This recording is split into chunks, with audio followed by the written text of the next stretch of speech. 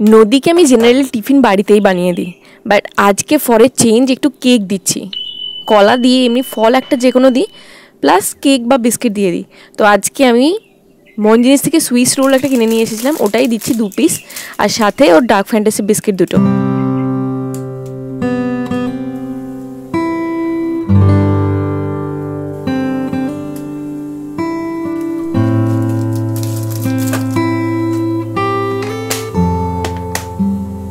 কার্টুনটার মধ্যে অভিষেকের ট্রলিটা এসেছিল, ঠিক আছে? ভেতরে ঢুকে বসে রয়েছে কাল থেকে। মধ্যে একবার যদি পড়িস না নদী, মুখ ফুক কিন্তু থেবড়ে যাবে বলে দিলাম।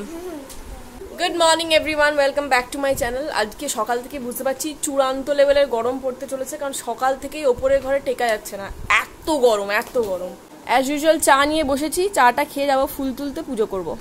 আটটা এগারো বেজে গেল, এখনও দুজনে খেলা চলছে, এখনও গাড়ি আসেনি। একটু ফোন করো না ছোটুকে। বসে না থেকে গাড়ি যতক্ষণ না আসে, আমি আমার কাজগুলো কমপ্লিট করে নিই। ঠাকুরের সমস্ত জোগাড় করে রেখে দিয়েছি এবার শুধু ফুলটা তুলতে গেছে মিস্টার মুখার্জি। ফুলটা তুলে আনলে তারপর পুজো করব। আটটা কুড়ি নাগাদ এলো। আসছে বাস। নদী ভালো করে পড়াশোনা করবে ঠিক আছে? পড়াশোনা মিস্টার মুখার্জিও আসছে। আজকে ঠাকুরের ফুলটা জাস্ট দেখুন। এইখানে দেখুন আবার এইখানে দেখুন। আমি বেশি সরাচ্ছি না প্রদীপ নিয়ে যায় বলে।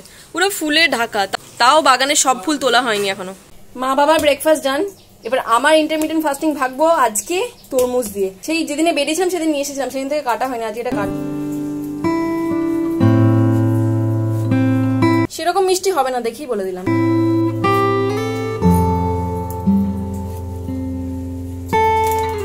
এক সপ্তাহ হয়ে গেল বেডশিট চেঞ্জ করা হয়নি। এমনি ডক্টররা বলে যে যাদের পিম্পল অ্যান্ড সেন্সিটিভ স্কিন হয়, তাদের চার পাঁচ দিনের ভেতরে বেডশিট চেঞ্জ করতে। অ্যান্ড পিলো কভার তো এভরি অল্টারনেট ডে চেঞ্জ করতে বলে।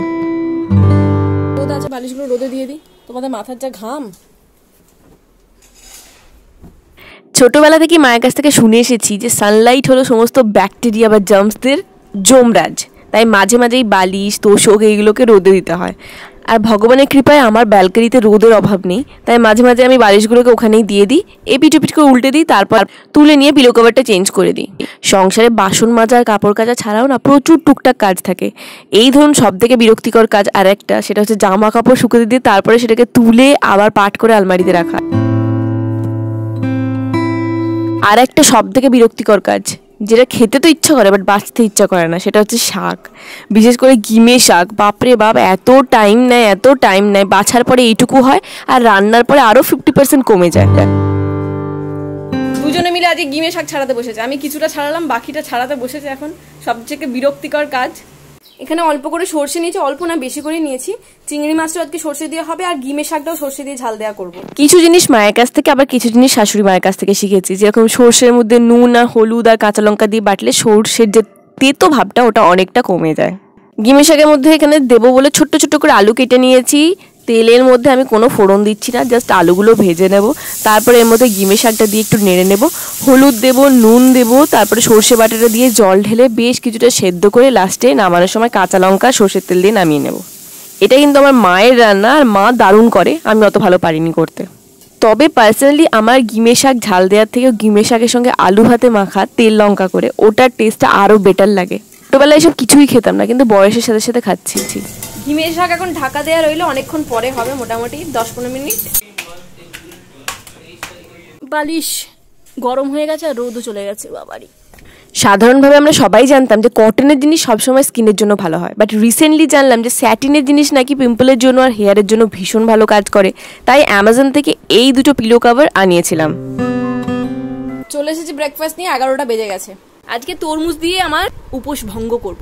নাইন্থ মে রবীন্দ্র জয়ন্তী ছিল বাট আমাদের এখানে যেহেতু সানডে ছাড়া কেউ সেভাবে পার্টিসিপেট করতে পারে না, সেই জন্য রবীন্দ্র জয়ন্তীর প্রোগ্রামটা করা হচ্ছে ফোরটিন্থ মে মানে হচ্ছে সানডে নদী তো পারফর্ম করছেই বাচ্চাদের সাথে, আর আমিও ভাবছি একটা সোলো পারফর্ম করব। সোলো পারফরমেন্সটা বাড়িতে প্র্যাকটিস করে নেব। বাট গ্রুপ ডান্স যেটা করব, সেটা সবাই মিলে না হয় প্র্যাকটিস কি করে করব? তো কখন কি হবে? নো আইডিয়া আচ্ছা একটা কথা বলবেন আমাকে।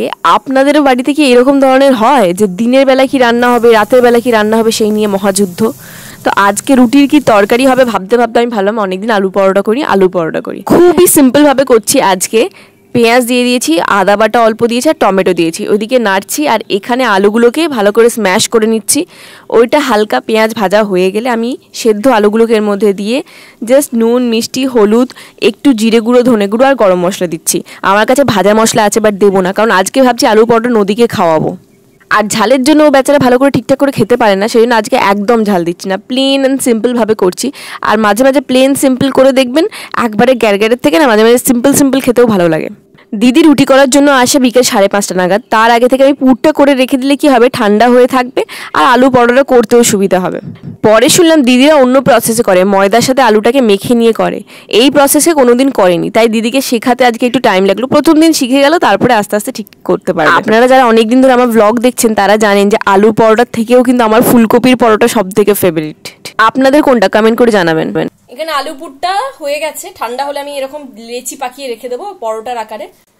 আর আজকে এই চিংড়ি মাছের ঝাল হয়েছিল সর্ষে বাটা দিয়ে। সেই জন্য নদীর জন্য আর মাছটা মেশাইনি। ঝোল টোল হলে নদীর মাছটাও দিয়ে দিই। আজকে ওকে ডাল সেদ্ধ দিয়ে ভাত মেখে মাছ ভাজা দিয়ে খাওয়াবো। ব্রেকফাস্ট করার পর মা, বাবা দুজনেই ফল খায়। আজকে মিস্টার মুখার্জি সকালবেলা তরমুজগুলো আমার থেকে বেশি খেয়ে নিয়েছে। আর এখন ভাত খাওয়ার পরে তিনটে থেকে সাড়ে তিনটে নাগাদ আমি আর নদী খাচ্ছি এই বেদানা। ছাড়িয়ে নিচ্ছি বেদানা খা খেতে না যতটা ভালো লাগে, ছাড়াতে ততটাই বেশি বিরক্ত লাগে। তো একসাথে ছাড়িয়ে নিয়েছি, আমি হাফ নদী হাফ খেয়ে নেব। আজকে দুপুরে খাওয়া দাওয়ার পর একটু রেস্ট করিনি সোজা চলে এসেছি নিচে রান্নাঘরে। এই লেচিগুলো পাকিয়ে রেখে দিচ্ছি। দিদি তাহলে বুঝতে সুবিধা হবে, কটা হবে আর কতটা করে ময়দাটা মাখতে হবে আন্দাজে। ময়দার মধ্যে দিয়ে দেওয়া হচ্ছে প্রথমে নুন, অল্প একটু চিনি, একটু ময়ন দিতে হচ্ছে, তেল দেওয়া হচ্ছে, তারপরে হাতে করে ভালো করে ময়দাগুলোকে চটকে চটকে চটকে মাখিয়ে নিতে হবে। তারপরে এর মধ্যে ঠান্ডা জল ইউজ না করে গরম জল ইউজ করতে হবে। তাহলে কিন্তু ময়দাটা পুরো একদম নরম সফট হবে। যেটা আজকে হয়েছিল মানে হাদসে বেশি আজকে আলু পরোটাটা সফট হয়েছিল কিন্তু। দুটো জায়গায় মনে হচ্ছিল তিনটে পরোটা খেয়ে নিই। দিদি ময়দাটা মাখছে, এই সুযোগ আমি গাছে একটু জল দিয়ে দিই। বাবার এই টবের গাছগুলো পুরো শুকিয়ে একদম কাঠ হয়ে গেছিল। মাধবী লতাতে এখন বেশি জল দিই। এখানে গন্ধরাজ। লেচি পাকানো চলছে, লেচি। বড় বড়, মোটা মোটা লেচি। এই যে আমি বলগুলো পাকিয়ে রেখে দিয়েছি, এর মধ্যে পুরের ভেতরে ঢুকবে, বেলা হবে আর ভাজা। দিদি ওখানে আলু পরোটা করছে আর আমি নিচের গাছ আর উপরের গাছ, প্রত্যেকটা গাছে জল দিয়ে দিলাম। বগেন ভিলিয়াতে আস্তে আস্তে প্রচুর ফুল ফুটছে, মাঝখানে ফুল ছিল না, তার কারণটা আমি বলব আপনাদেরকে পরে। একসাথে দুটো গাছ লাগিয়েছিলাম না, এটাতে ইয়েলো ফুল ধরেছে, আর ওই দিকে পিচ আর একটা জিনিস দেখাচ্ছি আপনাদের। দেখুন, আমার লঙ্কা চারা বেরিয়েছে, ছোট্ট ছোট্ট অনেকগুলো বেরিয়েছে বাট এর মধ্যে একটাই রাখব, কারণ একটা টপ একটাই হয়। এটার থেকে ওটাতে শিফট করে দেবো একটা, আর আরেকটা এটাতে শিফট করে দেবো। এখন জামা কাপড়গুলো এখানে রেখে যাচ্ছি, এসে গোছাবো, সন্ধ্যেটা দিয়ে এসে। তুমি কি ফার্স্ট টাইম করছ? ওই জন্য একটু মুচকি মুচকি হাসি লাগছে। দেখো, হবে আস্তে আস্তে বেলবে, একটু বেশি করে, যেখানটা দেবে একটু ইয়ে হয়ে যাচ্ছে, একটু একটু ময়দা দিয়ে দেবো ওপর থেকে, ঠিক আছে?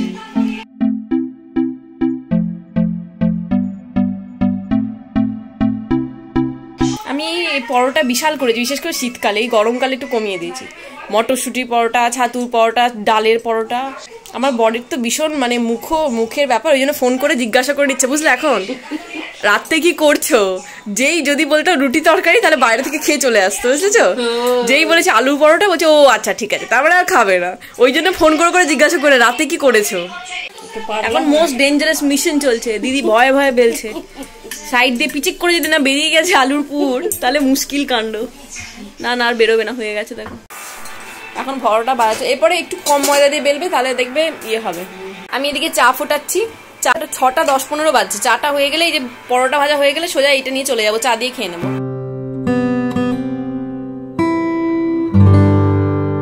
আমার ডিনার নিয়ে চলে এসেছি। দুটো আলু পরোটা, আর এখানে চা আছে, আর এটা নদীর বনভিটা বিস্কিট। নদী সোনা মেয়ের মতো পড়াশোনা করতে বসে গেছে সোনা মেয়ে বিদ্যুৎ বিস্কিট খেয়ে। তাই তো মামা? করো লেখো। নদীর ডিনার নিতে চলে এসেছি। নদীকে একটা আলু পরোটা দেবো। ইচ্ছে করে আমি আজকে ঝাল দিইনি ও খাবে বলে। আর একটু সস দেবো আবার সস ছাড়া খাবেই না। বেশ কিছুদিন হলো অ্যামাজন থেকে আমি একটা হুইট পাস্তা অর্ডার করেছি। জানি না ওটা কবে আসবে ওটা পুরোপুরি ঘরে কি করে বানাই সসও আমি বাড়িতেই বানাবো। সেই রেসিপিটা শেয়ার করব আপনার সাথে। হ্যাঁ করো নদী খেয়ে দেখ আগে।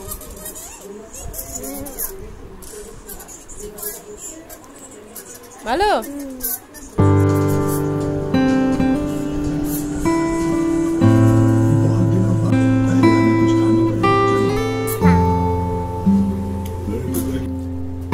এখন নদী খেলতে বসেছে, আর এখন ওকে আমি খাওয়াবো এই বেভান সিরাপটা এটা শেষ হয়ে গেছে, আর একটা নতুন আনিয়েছি। এটা ওর যখন ভাইরাল ফিভার হয়েছিল ডক্টর দিয়েছিল। Multivitamin multi mineral and antioxidant suspension এটা। You know just what you do, you do to me. Play my emotions like a pair of puppet strings. Did it ever occur to you? আমার তো oily skin but রাত্রেবেলা এসিতে শোয়ানোর সময় না নদীর স্কিনটা প্রচণ্ড বেশি ড্রাই হয়ে যায় ওই জন্য রাত্রেবেলা শোয়ানোর আগে মুখে হাতে পায়ে সব জায়গায় লোশন লাগিয়ে দিই তারপর ঠিকঠাক থাকে যথারীতি শোয়ার আগে আবারও নাচ স্টার্ট হয়ে গেছে। টিভিতে চালিয়ে দিয়েছে গান। ওই আমি যে গানে ডান্স করব না, পাগলা হওয়া ওটাতে। অনেক কষ্টে ওকে বসিয়েছি নাচ থেকে বিরত রেখে, এরপরে ওকে ক্রিম ট্রিম লাগিয়ে সোজা শুতে যাব, কারণ অলরেডি এগারোটা বেজে গেছে। কালকে স্কুলও আছে। উঠতে হবে সকালে। সো আজকে ব্লগটা এখানে শেষ করছি। ব্লগটা ভালো লাগলে please do like share and subscribe my channel দেখা হচ্ছে নেক্সট ভিডিওতে টিল দেন টাটা বাবাই লাভ ইউ গুড নাইট